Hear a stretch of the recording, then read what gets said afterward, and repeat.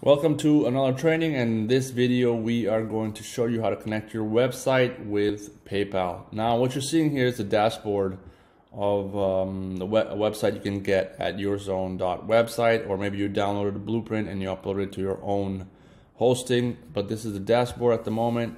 And what we're going to do is you can either click on setup shop or go to shop or WooCommerce. You'll have here if it's a standard install and click on settings you'll see something like this. Obviously, you will have your information filled in here. All you have to do is click on payments. You will see this. And I want you to scroll down to PayPal. Make sure you're not using PayPal standard because I think this is going to be um, is going to be deprecated in a bit because PayPal just uh, created this new plugin called PayPal Payments, and um, I think that's what's going to be going to be used um, going ahead. So go ahead and click on the toggle button or click on setup. You should see a page that looks like this and um, it's really simple. Click on connect to PayPal and as you see this window pops up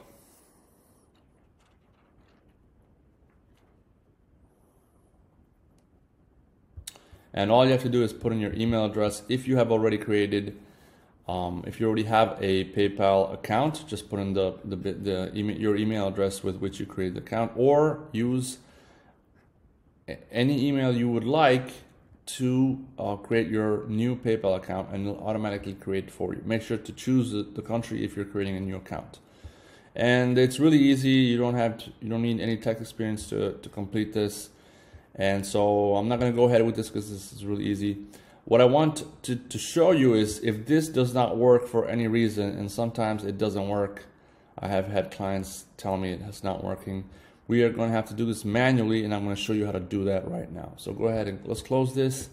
And you will do exactly what I'm going to show you using your live mode.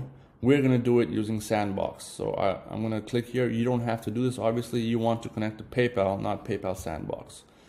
Then you want to toggle manual credential input.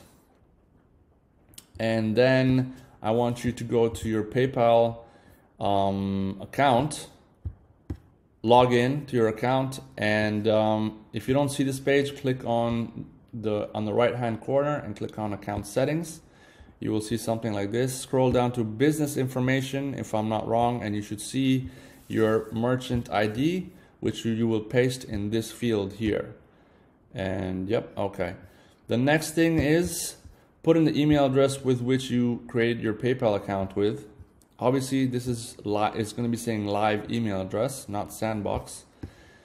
And then you want to access the, the client ID and the secret ID. So what you do is click on developer on PayPal.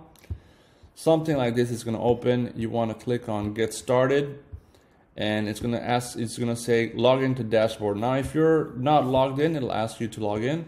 If you click this um, what did we see? Okay so we clicked it and we got something like this. Now you probably don't have any any uh, apps you created. You just have to click on live. And because you don't want to create a sandbox app you want to create a live app. And then you're going to click on create app you're to give the app a name. You're to leave merchant because you're not creating a platform. You're just creating a merchant account that's made to accept payments.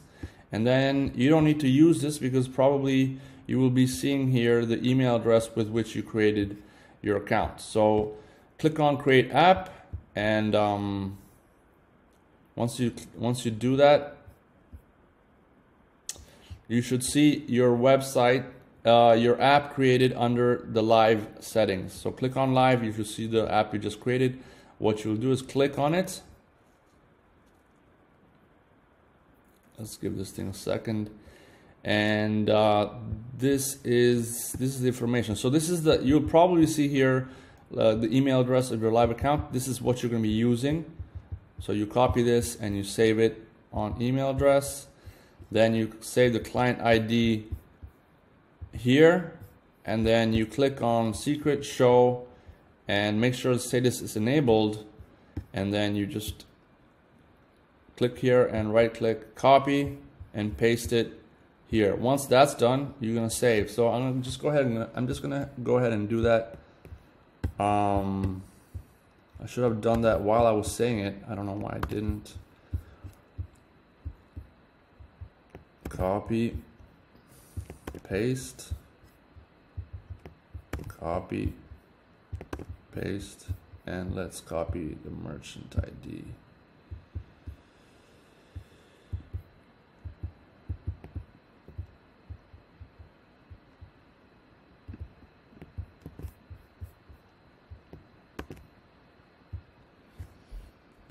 and save changes.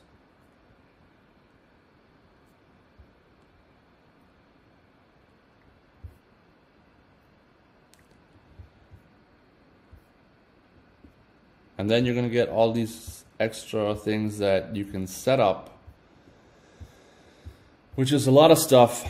So let's just go ahead and go through this. Okay, so first of all, make sure you enable the pay, PayPal gateway. Scroll down. This is what people are going to see on checkout page. So PayPal, pay via PayPal. We are going to capture the payment. We're not going to authorize it. We're going to capture it. And require instant payment means we're not going to allow payments that allow you to pay later. Okay, so anything that allows a client to pay later is removed, but that's your choice. Add the brand name. This could be the name of your website or whatever. The landing page is login. Yep, PayPal account login or non-PayPal account. I would say non-PayPal account. Disable funding sources. Go ahead here and disable anything you don't want people to be using.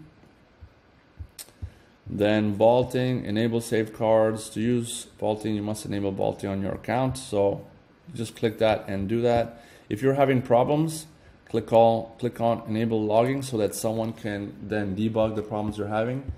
You will save here as we did, uh, just write your the business name. So I would probably say your zone or maybe YZ websites so they remember it. When they look at the their invoice enable buttons on checkout. Uh, the checkout page yep we wanted to enable it. Play around with this. This is just normal settings. It'll work either way. You want pay later on checkout then enable enable on checkout. Do you want the the the PayPal button to um, on the single product page, then you will click here and you will, let's say, choose whatever you want. Then pay later on single products, you will do that here. You want it on the cart so that basically when they click on it, it'll take them immediately to checkout. Same thing for pay later and mini cart basically is when it's on the upper right hand corner. When you click on it, it slides into the page. Go ahead and say save changes and basically I think you're good to go. Make sure you have enabled the PayPal gateway and you don't have sandboxed sandbox um, selected and you're good to go. Once that's done, let's click on PayPal card processing. What happens? Oh yeah, I'm gonna save so that this works.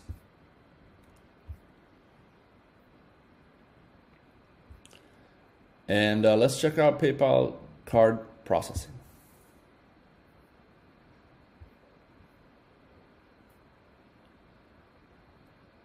Um,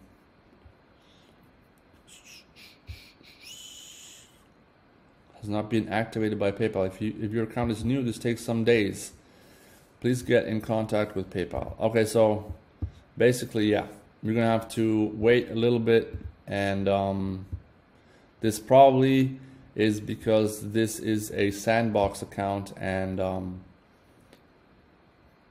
and um, that's why it's not PayPal card processing is not working. But what I advise you, if you really want to accept credit cards, then use uh, the Stripe payment method, and we have a tutorial on that also. If you're in the course right now, it's probably the next video. If not, just uh, do a search on YouTube, and it'll probably come up. Okay. Cheers. See you in the next lesson.